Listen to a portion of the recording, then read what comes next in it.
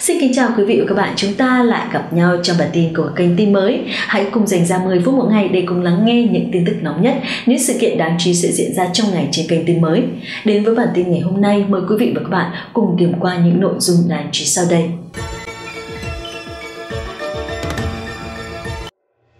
Mực nước của 33 con sông ở Trung Quốc đạt mức cao kỷ lục trong 3 ngày tới miền Nam Trung Quốc bị ngập lụt đang chờ đợi điều tồi tệ nhất.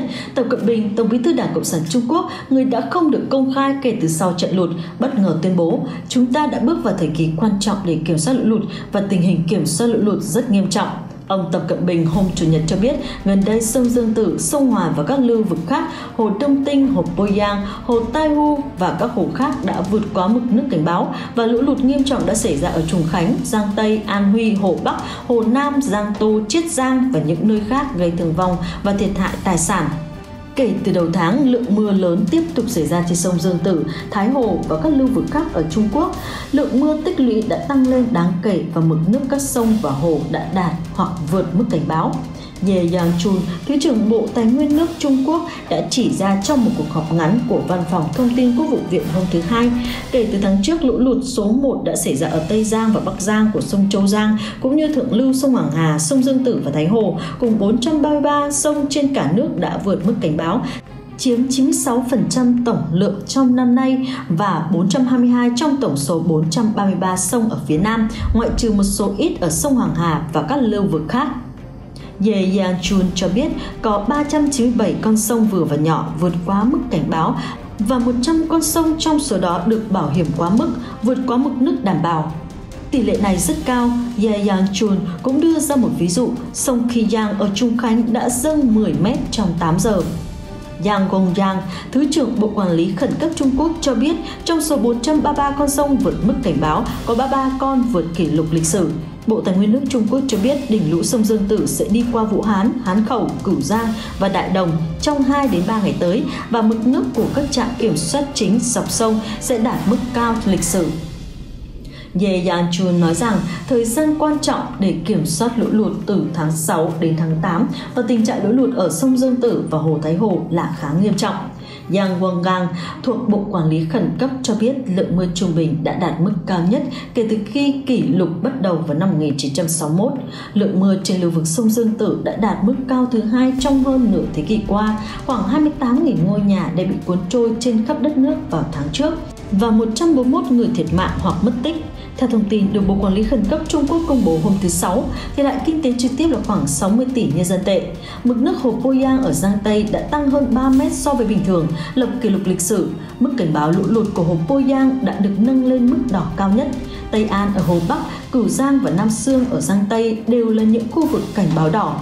Tại nhiều khu vực trọng điểm phòng chống lũ lụt, rất đông bộ đội địa phương được điều động mang bao cát ra cố kè sông. Một số lượng lớn video và hình ảnh trên Internet cho thấy nhiều thị trấn và cộng đồng đã bị thu hẹp thành Seijiang và lực lượng cứu hộ đang đẩy những chiếc thuyền bơm hơi để vận chuyển những người dân ở vùng nước sâu đến thắt lưng. Vũ Hán, nơi sinh ra đại dịch coronavirus, lại là tâm điểm của lũ lụt. Mực nước sông Dương Tử và nhiều hồ đã vượt mức cảnh báo, đe dọa nghiêm trọng đến người dân địa phương. Những ngày qua, bờ sông Vũ Hán được đặt trong tình trạng báo động cao. Hàng chục nghìn cán bộ địa phương túc trực ngày đêm để quan sát diễn biến mực nước. Rất đông công nhân tăng cường đắp tường bao cát để ngăn sông Dương Tử bị vỡ. Ye Yan-chun, Thứ trưởng Bộ Tài nguyên nước Trung Quốc cho biết hơn 300.000 người ở Hồ Bắc, Hồ Nam, Giang Tây, Giang Tô, Chiết Giang và các tỉnh, thành phố khác ở Trung và Hạ lưu sông Dương Tử, bao gồm cả lưu vực Hồ Taihu, đã đến thăm các tuyến kè để tiến hành kiểm tra kịp thời lũ lụt đã ảnh hưởng đến 2.076 quận ở gần như toàn bộ Trung Quốc và chỉ một số khu vực chẳng hạn như Tây Tạng và Tân Cương được cứu sống. Lũ lụt đã lan đến 27 tỉnh ở Trung Quốc. Hai ngày qua, mưa lớn liên tục xảy ra dọc sông Dương Tử ở Trung Quốc, sạt lở đất nhiều nơi, đường xá và đất canh tác bị biển bao phủ, một số bờ sông đã đứng trước nguy cơ bùng phát. Tín hiệu cảnh báo lũ lụt cho bốn thành phố chuyển sang màu đỏ rực rỡ lũ lụt ập đến 27 tỉnh, hai trong số 4 thành phố này thuộc Hồ Bắc đó là Tây An và Kinh Châu, hai là ở Sang Tây đó là Nan Trang và Sang Rao. Các chuyên gia cho rằng tình hình lũ lụt hiện nay cho thấy Trung Quốc rất dễ bị tổn thương bởi thời tiết khắc nghiệt và rủi ro lũ lụt do biến đổi khí hậu gây ra. có 4 mức cảnh báo nước ở Trung Quốc từ 1 đến 4, xanh lam, vàng, cam và đỏ. Màu đỏ là mức cao nhất, có nghĩa là dòng chảy đạt đến hoặc vượt qua kỷ lục lịch sử và chu kỳ quay trở lại đạt hoặc vượt quá 50 năm. Tính đến thứ sáu, lũ lụt ở miền Nam Trung Quốc đã ảnh hưởng đến 30,2 triệu người ở 27 tỉnh, trong đó An Huy, Giang Tây, Hồ Bắc, Hồ Nam, Quảng Đông, Quảng Tây, Trùng Khánh, Tứ Xuyên, Quý Châu. Theo CCTV, phương tiện truyền thông chính thức của Đảng Cộng sản Trung Quốc, trận lũ đã khiến 22.000 ngôi nhà bị sập, 1,72 triệu người phải di rời khẩn cấp và diện tích cây trồng bị ảnh hưởng là 2 triệu 667 nghìn hecta hiện lũ lụt đã làm khoảng 140 người chết và mất tích. Vũ Hán, một thành phố với những thảm họa liên miên, theo báo cáo của các phương tiện truyền thông Trung Quốc, tình trạng nước ở lưu vực sông Dương Tử thậm chí còn nghiêm trọng hơn, cảnh báo lũ lụt cho đoạn từ cảng Chen Linh Li ở Hồ Nam đến sông Nam Kinh, quận Đông Tinh Lách, quận Panyang Lách và sông Suyang, dòng chảy chính của trung và hạ lưu sông Dương Tử đều được nâng lên thành màu cam. Dự báo mực nước tại các khu vực này sẽ tiếp tục dâng cao trong những ngày tới. Vũ Hán, nơi đại dịch bùng phát đầu tiên, hiện đang đối mặt với nguy cơ lũ lụt rất lớn. Mưa lớn đã khiến mực nước sông Dương Tử dâng cao đến mức cảnh báo. Vào chiều thứ năm, chính quyền địa phương đã điều động công nhân xếp các bao cát trên bờ sông Dương Tử để ngăn chúng vỡ ra. Một chiếc phà gần đó đã bị đóng cửa và các công nhân đã xây một bức tường gạch tạm bỡ dọc sông với sự hỗ trợ của bao cát phía sau. Các quan chức túc trực bên bờ sông để theo dõi sự thay đổi của mực nước sông Dương Tử. Tờ Bưu điện Hoa Nam buổi sáng cho biết, một công nhân cho biết anh ta đã làm việc trên công trường nhiều ngày để chuẩn bị cho lượng mưa lớn có thể xảy ra trong vài ngày tới. Để củng cố bờ kè, một bức tường bao cát cao 2 mét đã được xây dựng dọc theo sông, ông nói. Người công nhân nói nước dâng lên rất nhanh, hôm qua vẫn còn ở mắt cá chân và bây giờ đã đến đầu gối. Chính quyền thành phố Vũ Hán đã ra lệnh đóng cửa 188 bến phà và bến sông Dương Tử, đồng thời cử hơn 12.000 người tuần tra dọc sông. Cư dân địa phương đau buồn trước thảm họa đang diễn ra ở Vũ Hán. Tờ Bưu điện Hoa Nam buổi sáng dẫn lời một người dân Vũ Hán tên là Mie nói – Vũ Hán vừa thoát khỏi đợt đại dịch virus mới và lại hứng chịu lũ lụt. Đó là một năm thiên tai, tôi hy vọng tất cả chúng ta sẽ vượt qua thảm họa lần này. Chuyên gia Thiệt hại kinh tế do khí hậu nóng lên đối với Trung Quốc đang tăng lên qua từng năm. Trung Quốc phản nàn rằng thời tiết bất thường bao gồm không khí ẩm từ Biển Đông và Ấn Độ Dương là nguyên nhân trực tiếp gây ra lũ lụt, sau đó có những thay đổi dài hạn về mô hình khí hậu khiến Trung Quốc dễ bị lũ lụt hơn. Dữ liệu chính từ Trung Quốc cho thấy lượng mưa trong tháng 6 cao hơn 13,5% so với mức trung bình của gió mùa. Kể từ năm 1961, các trận mưa lớn ở Trung Quốc đã tăng 20%. Liu Junjan, một nhà hoạt động của tổ chức môi trường Greenpeace cho biết lũ lụt ở miền Nam Trung Quốc trùng khớp với những cực đoan do biến đổi khí hậu gây ra. Reuters dẫn lời ông Liu Junjan cho biết trong những thập kỷ gần đây chúng tôi đã chứng kiến lượng mưa gia tăng lớn ở nhiều vùng của Trung Quốc, kết quả là lũ lụt.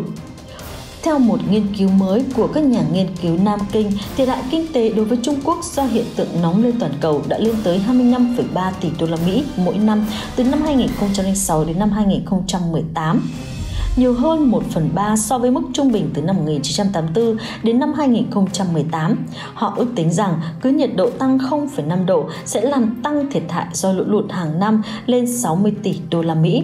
Lũ thử đập Tam Hiệp ném bom hẹn giờ lên đầu 600 triệu dân.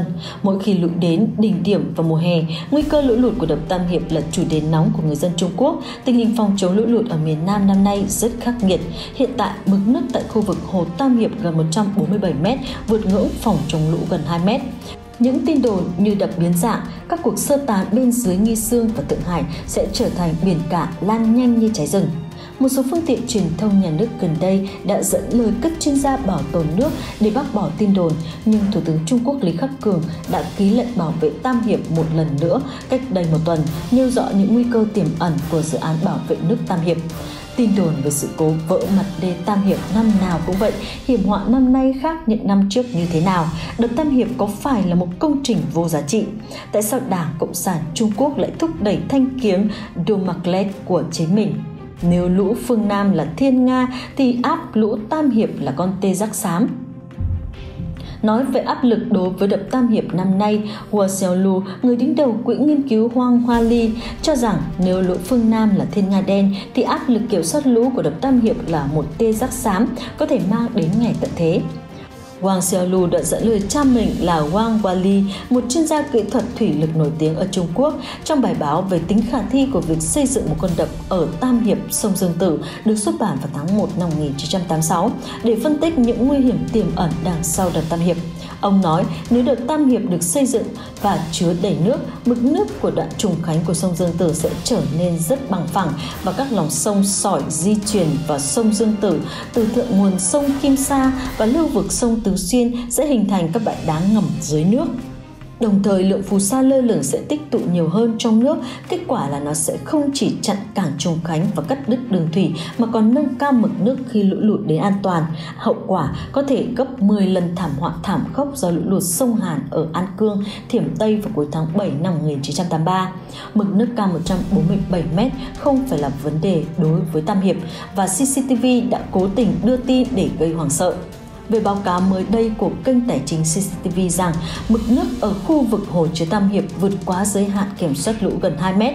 Học giả môi trường người Đức Wang Weilu cho rằng điều này đang gửi một thông điệp sai lầm đến người dân cả nước. Wang Weilu đã xem xét ngắn gọn một số dữ liệu kỹ thuật của đập Tam Hiệp, thân đập là 185m, mực nước bình thường là 175m và mực nước giới hạn kiểm soát lũ là 145m. Khoảng trống từ 145m đến 175m được xác định là dung tích lưu trữ kiểm soát lũ với tổng cộng 22,15 tỷ mét khối. CCTV đưa tin rằng mực nước của hồ chứa Tam Hiệp đạt 144,99m, tức là 145m và đạt đến mực nước giới hạn kiểm soát lũ lụt trước 2 ngày so với kế hoạch. Nếu dự án Tam Hiệp đóng vai trò kiểm soát lũ lụt, nó phải được lưu trữ từ 145m đến 175m, nhưng nó chưa bao giờ được lưu trữ cao như vậy thường từ 145m đến 156m mỗi năm. Theo nguồn nước cụ thể, điều kiện điều chỉnh mực nước trong thời gian này 147 m hoàn toàn không phải là một vấn đề đối với hồ chứa Tam Hiệp. Không biết tại sao CCTV lại phát đi tin tức này, lại có rất nhiều người dẫn lại khiến mọi người vô cùng hoảng sợ. Tôi không biết mục đích của việc này là gì. Những thông tin vừa rồi cũng đã kết thúc bản tin thời sự tổng hợp ngày hôm nay. Chúng tôi sẽ tiếp tục cập nhật những thông tin mới nhất trong những bản tin tiếp theo. Quý vị hãy đăng ký kênh tin mới để theo dõi. Còn bây giờ xin chào và hẹn gặp lại.